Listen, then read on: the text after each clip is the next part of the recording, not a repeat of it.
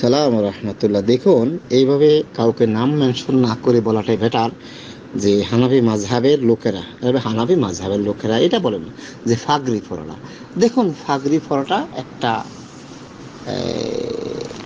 সৌন্দর্য, কিন্তু কেউ যদি যেমন আছে, কথাটা এরকম আছে, যে আমাদের অনেক ভাইরা বলে যে ফাগরি পরে এক রাকাত নামাজ আর ফাগরি ছাড়া সত্তর রাকাত নামাজ। মানে ফাগরি পরে এক রাকাত নামাজ আর ফাগরি ছাড়া সত্তর রাকাত নামাজের সমান। এই কথাটা মিথ্যা কথা, এর কোনো ভ্যালু নেই, এর কোনো ভ্যালু নেই। ফাগরি সৌন্দর্য পড়তে পারেন কিন্তু যদি ওখানে সোয়াব সেট করেন, তাহলে দিতে হবে দলিল। যে দলিল আছে এই দলিল একটা সঠিক নয়।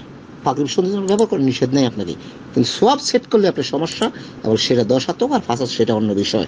যতগুলো সোয়াবের কথা আছে, দেখবেন এক একজন এক এক তরিকার পাগড়ি করে। কেউ সাদা কেউ সবুজ কালার কেউ সবুজ নীল ভুলু মিলিয়া। যে যে তরিকার সেই তরিকার পরে। এখন প্রশ্ন রসুল পাগড়ি পরেছেন কিন্তু সেই রসুল পাগড়িটা পরেছেন কি? এরকম আদেশ করেছেন উম্মতিকে যে পড়তেই হবে বা নমাজে যেই এক আহ, পাগড়ি পরে আর সত্তর রাকাত পাগড়ি ছাড়া। এরকম কোনো হাদিস রসুল বা সাহাবে আজমেন থেকে যতগুলো আছে হয় মৌজু আর না তো জৈফুন জিদ্দান। কথা বুঝতে পারছেন? সুতরাং এগুলো নিয়ে বাড়াবাড়ি না করে আপনি পাগড়ি পরেন সৌন্দর্য পরেন কিন্তু সব সেট করলে আপনার সাথে আমার সাথে দ্বিমত হবে। আশা করি বুঝতে পারছেন। আসসালামু আলাইকুম।